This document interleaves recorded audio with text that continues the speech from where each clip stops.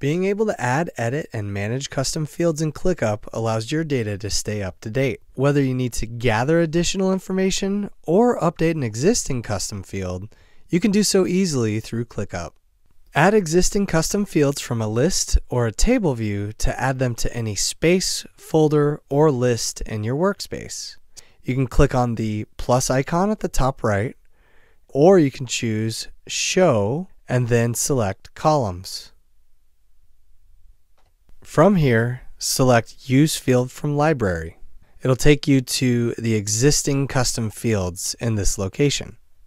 If you click into a custom field here, you'll be able to see the places where the custom field exists, and you'll be able to use the field and select it for your specific location.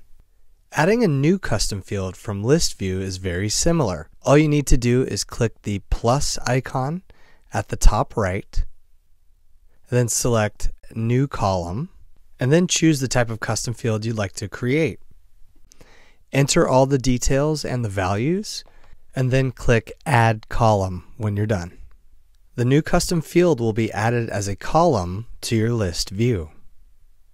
To edit a custom field within list view, all you need to do is click into the column headers at the top and then select Edit Field. Change the values or the information here as needed and then click Save. If you'd like to delete a custom field from your list view, all you need to do is click back into the column header of the custom field and then select Remove from List here or whatever location wherever you are.